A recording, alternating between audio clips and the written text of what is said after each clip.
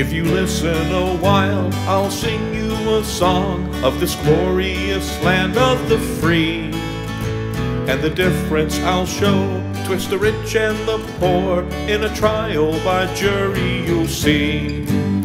If you've plenty of stamps, you can hold up your head and walk from your own prison door. But they'll hang you up high if you've no friends or gold.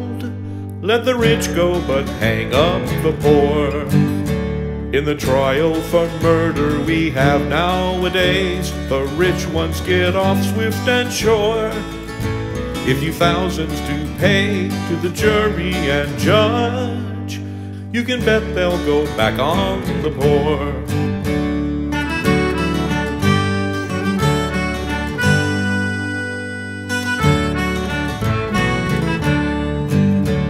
I'll speak of a man who's now dead in his grave, a good man as ever was born.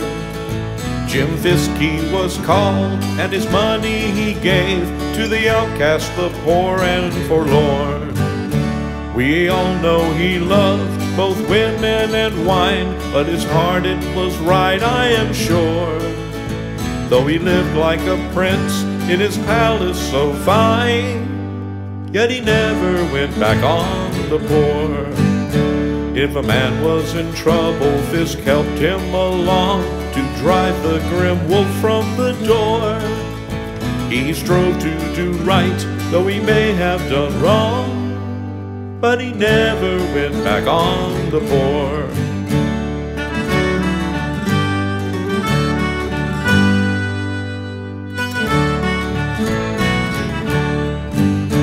Now what do you think of the trial of Stokes, who murdered this man of the poor? When such men go free, is there anyone safe to step outside their own door?